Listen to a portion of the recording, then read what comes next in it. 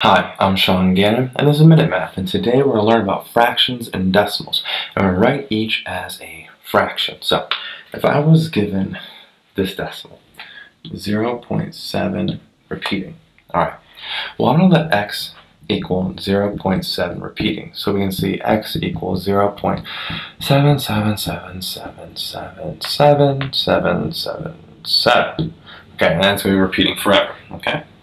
Well, I'm going to take the x and multiply it by 10. So I have 10 times x, which is equal to, well, 0.7 repeating times x, move the decimal over 1, and we have, or times 10, we have 7.7 repeating. Alright, so now I'm going to take 10x minus 1x. Well, if this is what they're equal to, 7.7 repeating minus 0.7 repeating, okay? I can simplify this. 10x minus 1x is 9x. 7.7 repeating minus 0.7 repeating is just 7. Solve for x. I divide it by 9, and I got x equals 7 ninths. And we can't simplify anymore.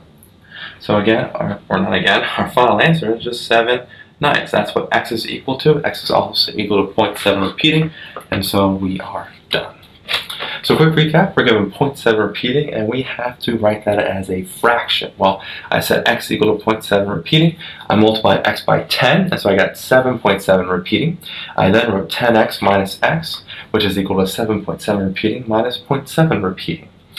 I simplified that and got uh, 9x equals 7. I solved for x, got x equals 7 ninths. And so our final answer as a fraction, which equals 0.7 repeating, is 7 ninths.